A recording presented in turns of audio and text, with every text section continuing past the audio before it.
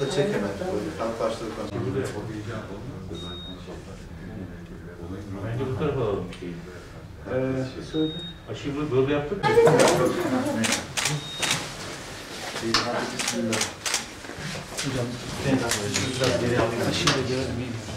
Ben şöyle yapayım hazır mısın? Yapıyorum. Hazırsın. Hazırız.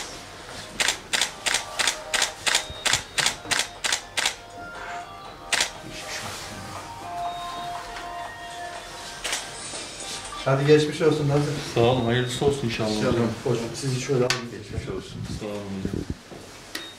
Şimdi e, oldu ama önce bir Evet şimdi ilk dozdaki yapılan iğne aşı yani şu an ikinci dozda yapılmıştır. Herhangi bir yan etkisi yoktu. Yani normal hayatıma devam ediyorum. Görmüş olduğunuz gibi. Yani bu aslında bekle, beklenilen aşı çalışması ikinci dozda belli olacak. Yani bu süreçte hep beraber takip edeceğiz. İnşallah Aralık ayın sonunda da bitmiş olacak. Gereken sonuçları alacağız.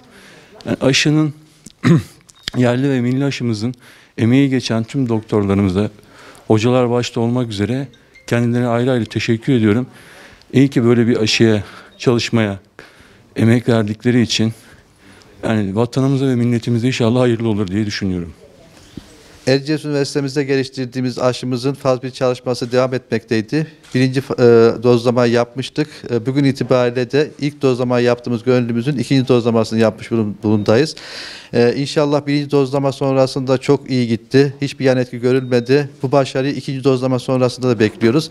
İkinci dozlama sonrasında bu başarıyı elde edersek inşallah en kısa zamanda daha önce açıkladığımız gibi aralığın ortasında da faz 2'ye hızlıca geçeriz ve daha sonra faz 3 inşallah sonrasında da en kısa zamanda e, tüm vatandaşlarımıza yerli aşımızı e, ulaştırmış ve yerli aşımızla buluşturmuş oluruz diye ümit ediyoruz.